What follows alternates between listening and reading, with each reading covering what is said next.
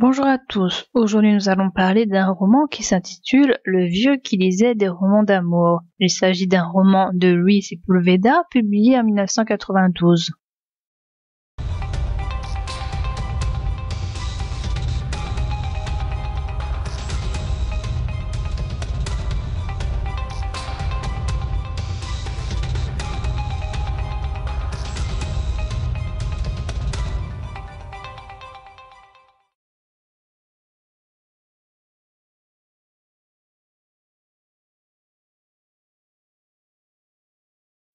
À El Idilio, un dentiste vient arracher les dents aux habitants de la petite ville. Sur le quai du fleuve, il y a un cadavre. Le maire pense que ce sont les chouards qui l'ont tué. Antonio explique qu'il pense qu'il s'agit d'un oiseau femelle qui a voulu se venger de la mort de son compagnon ou de ses petits. Antonio a la nostalgie de son passé.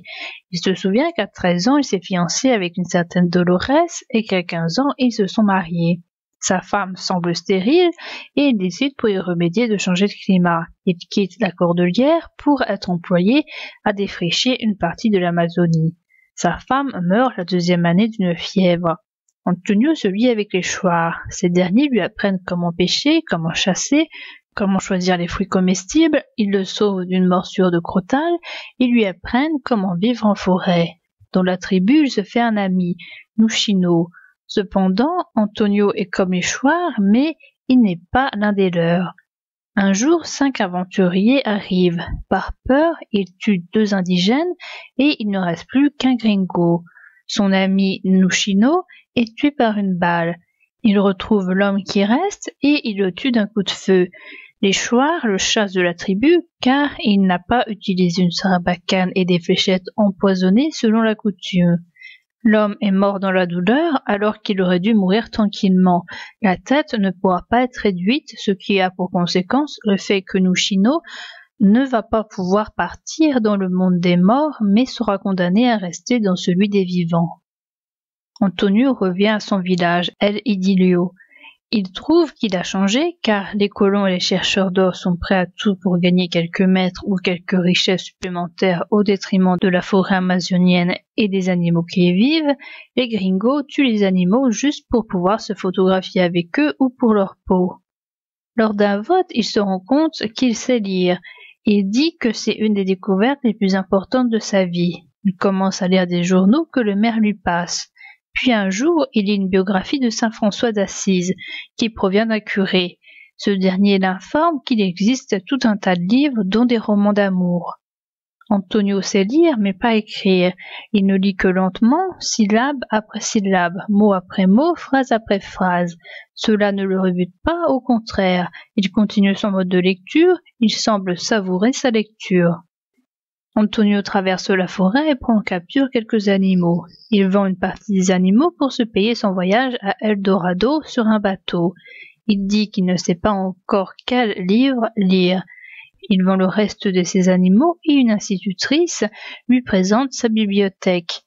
Il commence par lire des livres de géométrie et d'histoire, mais ça ne semble pas l'intéresser. Il tombe sur le livre Cœur d'Edmondo de Amicis, qui lui plaît plus que les précédents ouvrages. Il prendra avec lui le rosaire de Florence Barclay. Les habitants d'Île Idilio trouvent encore un cadavre ainsi qu'une mule blessée. Un jour, le maire arrive avec des touristes chez Antonio. Ils veulent lui acheter un portrait de sa femme, Dolores. Antonio refuse, le maire n'est pas content, et dit que le terrain de la cabane d'Antonio ne lui appartient pas, que c'est à l'État et que l'État c'est lui. Pour ne pas se faire expulser, Antonio accepte de chasser l'Oslo à contre-cœur. Le maire part à la chasse ainsi qu'Antonio et plusieurs hommes.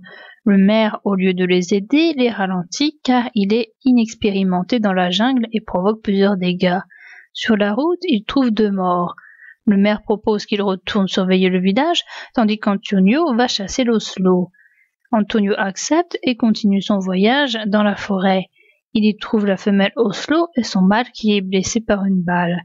Il donne le coup de grâce au mâle, mais il préfère être sûr de son coup pour pouvoir tuer la femelle, car il a peur qu'elle se défende et le blesse. Il trouve une pirogue pour pouvoir dormir. Suite à un rêve, il trouve la femelle Oslo près de lui. Il tire une première fois, la blesse, tire un second coup et la tue à bout portant. Il retourne à El Idilio et continue à lire des romans d'amour qui seuls le mettent à l'abri de ceux qui souillent l'Amazonie. L'histoire nous est racontée par un narrateur externe. L'histoire se passe en Amazonie. On a une végétation luxuriante, plein d'animaux, des perroquets, des singes, des serpents, des chauves-souris, des fourmis et même un ours à miel. Et surtout, le symbole de toute cette histoire, il y a un Oslo. Face à eux, on a des hommes qui ne savent pas quoi faire face à cette végétation qu'ils n'arrivent pas à dominer et qui repousse quand on l'arrache. Ils ne savent pas non plus quoi faire face à tant d'animaux qui sont sauvages. Le roman est tout un mélange. Tout d'abord, il y a deux grandes figures humaines dans ce roman qui sont Antonio et le maire. Ils sont complètement opposés. Antonio est vieux et il y a des signes de vieillesse physique, par exemple quand il n'arrive plus à tirer avec sa sarbacane, mais il est toujours jeune dans sa tête. Par exemple, il pense à se remarier. Il a un corps nerveux. Le maire, lui, est d'âge moyen. Il est obèse, il passe son temps à transpirer et à boire de la bière. Antonio est nostalgique, il pense à son mariage, il se rappelle de ses souvenirs avec le dentiste, il est sentimental. De l'autre côté, on a un maire cupide. Par exemple, il crée ou augmente des taxes, il est arrogant, il croit connaître la forêt alors qu'il n'en est rien, et il est borné. On a Antonio qui habite seul, il est vu comme un atout, il a un don pour la forêt. Le maire, lui, est détesté par tout le monde. Antonio a souvent raison, par exemple, il trouve la réponse de l'énigme du mort au début du roman. Le maire, lui, a souvent tort et a beaucoup de préjugés qui le mènent à se tromper sur bien des choses. Une autre opposition se fait entre les gringos et les chouars. Les chouars respectent la nature et connaissent la forêt, tandis que les gringos, eux, ne la comprennent pas et ne la respectent pas. D'un côté, il y a ceux qui pleurent, et de l'autre, on a ceux qui ont peur. Les chouars pleurent lors du départ de leur ami Antonio. Antonio lui-même pleure à la fin du roman après la mise à mort de l'Oslo. Les romans d'amour font pleurer. De l'autre côté, on a ceux qui ont peur. Il s'agit des gringos. On s'aperçoit que ceux qui pleurent ne correspondent pas à ceux qui ont peur et vice versa. Ceux qui pleurent ont une meilleure compréhension de leur environnement, tandis que ceux qui ont peur ne le comprennent pas et font usage de leur pistolet.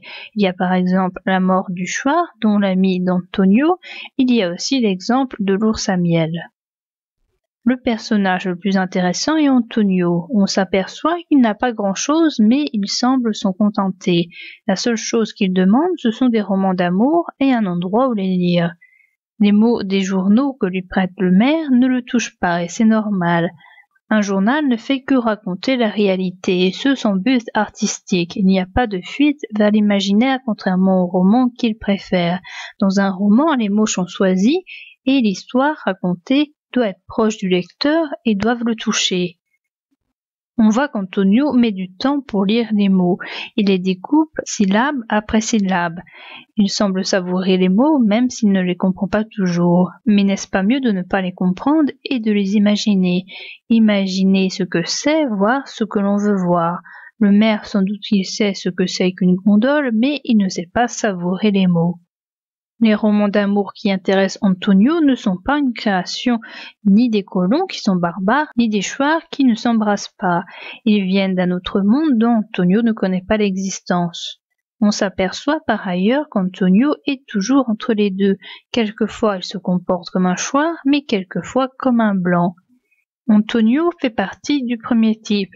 Il a une compréhension de la nature et de l'animal, il sait ce que la bête pense et ce qu'elle veut. Il le sait même avant de l'avoir vue. Antonio fait aussi partie d'un second type, car il veut rester dans sa maison, il tire sur l'animal et il met des animaux en cage. Antonio fait aussi partie d'un troisième type, parce qu'il lit des romans d'amour, ces romans apparaissent comme un remède à la vieillesse et à la barbarie des hommes.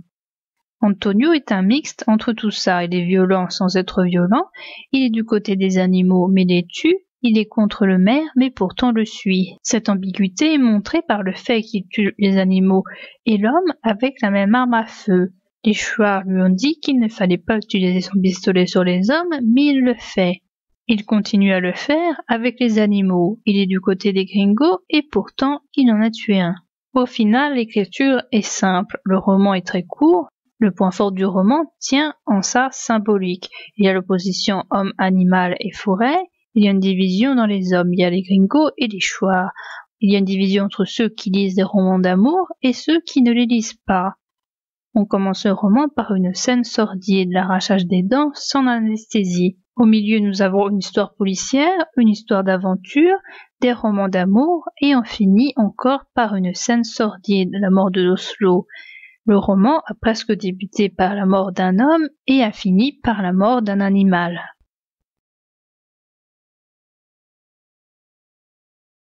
Et le prêtre soulignant ces paroles en caressant le cartonnage usé.